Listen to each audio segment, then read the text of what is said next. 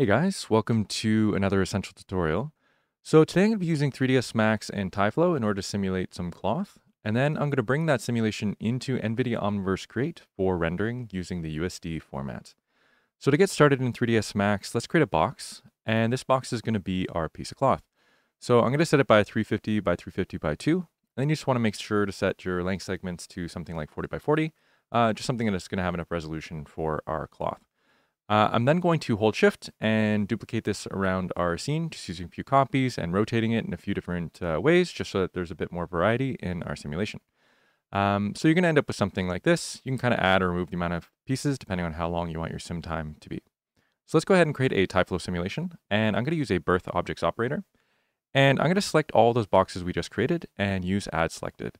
You can also instance the material if you have one on there. And then we're going to use a cloth bind to operator. Now in here, I'm going to change some of the settings under the bending stiffness. I'm going to choose uh, 1, 0.5, 0.4, and 2 for the volume. And then you want to make sure to enable the CUDA collision solver, self collisions, and self thickness. That should be all you need just to get our initial cloth set up. Now, to make it start to move, interestingly, we want to add some forces. So let's add a simplex force uh, on the noise one, and we want to add some strength to it so it actually has an effect on our objects here. So I'm going to set to something like 0.5 in the strength. And I'm also going to use a surface force operator. Now this is going to be to attract the cloth near the center of the stage.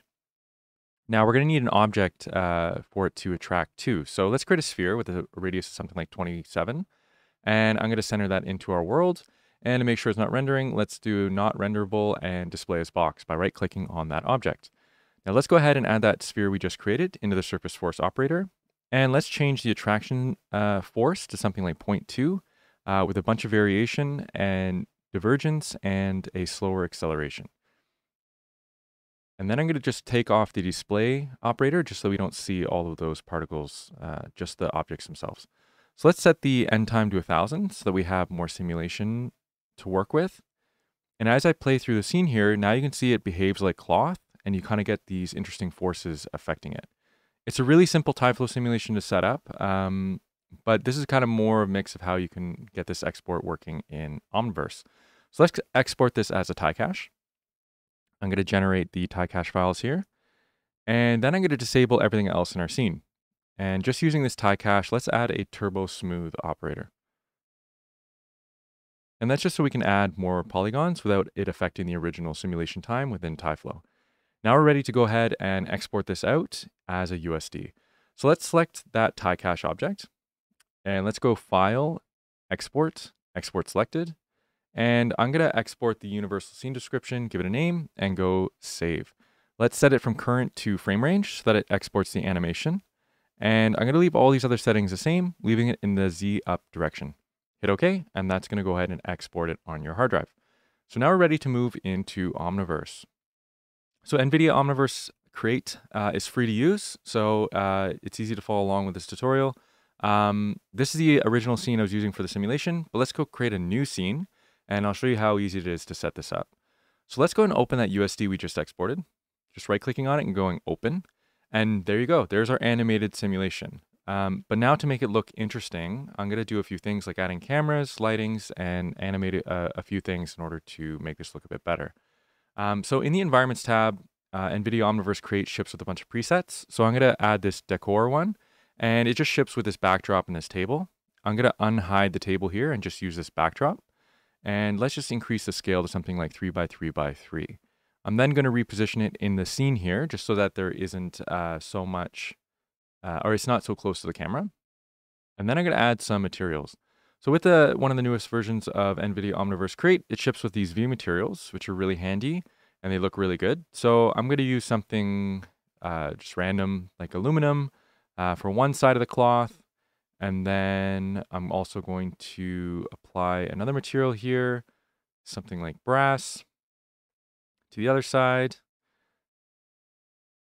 And then with the uh, the UVs out of uh, 3ds Max, it brought in a few different UV plates so we can apply it to a bunch of the edges and the back and front of the cloth. Uh, but let's change the texture scale just to give it a bit more detail here. And then I'm going to change it to interact or RTX interactive uh, just so that we have a bit more path tracing, path, path tracing samples. Sorry. Uh, so let's go ahead and apply that same uh, metallic material to all the other material slots here, uh, just so we don't have that uh, green edge. And now we're ready to add a camera. So let's uh, go create from view. So we have a camera. And now before I change these settings, I'm going to add some lighting. So let's create a rect light. And I'm going to reposition that in my scene here. And then I'm going to disable the other HDRI that came in with that preset when we were adding in that backdrop. And I'm just going to play around with the height and width and the shaping. So let's move into the perspective as well, because I want to add some other lights here as well. Just pressing Control D, we can duplicate this, and I can move this uh, duplicated light in our scene. And then I'm going to duplicate it one more time so that we have a total of three lights. So let's just reposition this last third light in the scene as well. So let's go back to our camera view and under the camera, or actually let's uh, take this HDRI and I'm just going to lower the intensity to something like 50 so that we can actually see that backdrop here. So let's go to the camera here and I'm going to play around with the f-stop and the focus distance just to kind of get some of that bokeh or depth of field. Um, one trick I like to use, I like to lower the f-stop to something really low, like 0.2, just so that I can see exactly where my focus plane is hitting. That way I can just kind of really uh, tightly dial in the focus. Once it's in a place that I'm happy with, I'll then increase the f-stop um, to a higher value just so that it's not such an extreme depth of field. So in the post-processing, we can also add things like chromatic aberration. Um, in this case, I'm not going to use it. You can add motion blur, uh, you can add bloom. You can do a bunch of color grading, all, you know, uh, complicated effects if you want to. These are just some of the basic ones that I tend to use. Uh, I'm also going to add global volumetric effects, which is kind of just adding in some atmospheric uh, lighting uh, or adding like smoke into your scene, basically. Um, but I just want it to be really subtle, so I'm going to lower the density multiplier down to something like 0.68. Um, so one other thing here too is just kind of enabling and disabling these lights. I can kind of see what effect they're having on our scene.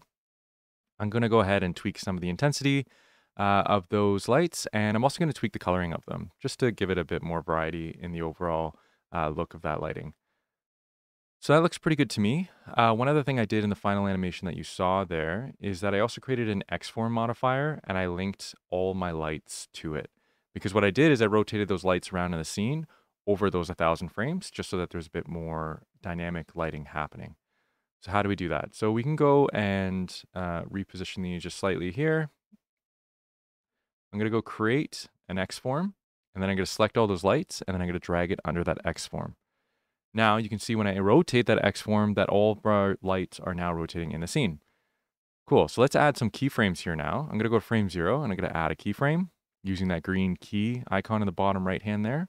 And then I'm going to go to frame 1000, rotate to something like 720 degrees, and then I'm going to right click and go set key, which is another way to do it. But you can of course go into the right hand corner and hit that set key button there as well.